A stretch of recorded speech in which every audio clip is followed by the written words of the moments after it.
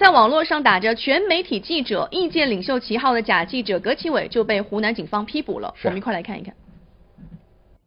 警方查明，二零一零年以来，葛启伟利用其在网络上的影响力和在媒体圈的人脉关系，与少数媒体记者勾结，大量搜集党政机关、企事业单位和普通群众的所谓负面信息。长期假冒记者身份，打着舆论监督的旗号，以在网上曝光、进行负面炒作为要挟，或以删帖为名，大肆进行敲诈勒索犯罪活动，金额动辄数万、数十万元。警方还发现，葛启伟还涉嫌伙同犯罪嫌疑人张环瑞等人组成敲诈勒索犯罪团伙。该犯罪团伙内部分工明确，先安排线人运用录音、密拍等非法调查类手段，收集全国各地企事业单位和个人的负面信息，由葛启伟负责写稿，再以要在网上发布或帮助删帖为要挟实施敲诈。目前，警方已经查实该团伙实施敲诈勒索案件十六起。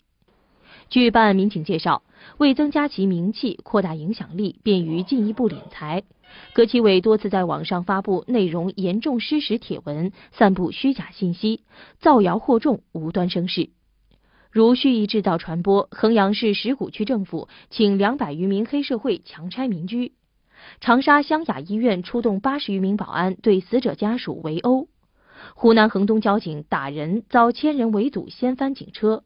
其中一东校长暴殴学生等谣言，故意煽动群众的不满情绪，诋毁了当地党委政府形象，严重扰乱了当地的社会秩序，影响了当地的经济社会发展。警方在抓获葛启伟时，在其住所起获一批用于作案的密拍密录设备、假记者证等物品，并缴获敲诈勒索既遂的一批名贵香烟和收款票据二十七张。目前案件仍在进一步办理中。敲诈勒索，胆子太肥，行径太恶劣。再说，怎么会有人相信一个冒牌记者呢？呃，这个葛启伟他是新闻专业科班出身的，嗯而且是在正规的媒体实习工作过，难所以他在网上编造的这个负面新闻看起来很专业。嗯，再加上通过一些个人关系，他就把这些虚假的新闻放到网上赚取点击率。这样他就在网上就出名了，嗯也成了什么所谓的网络大 V，一呼百应。你说对了，在成为了网上名人之后，他通过网友提供的一些企业的负面信息，开始对企业进行敲诈勒索。那些企业啊，也是你自身有问题了，就该接受媒体的监督，嗯去积极改正自己的问题，而不是应该想着去花点钱摆平问题。给了这样一个人一个可乘之机，我很想知道他都编造了哪些虚假的新闻。哦，不少呢。比如说，蓄意制造传播衡阳市石鼓区政府请二百多名黑社会强拆民居啊还有长沙湘雅医院出动了八十多名保安对死者家属围殴，嗯还有什么湖南衡东交警打人遭千人围堵，掀翻警车，各种谣言不。是那个交警打人那个围堵的新闻，好像我听过，嗯那原来是他编的呀。对，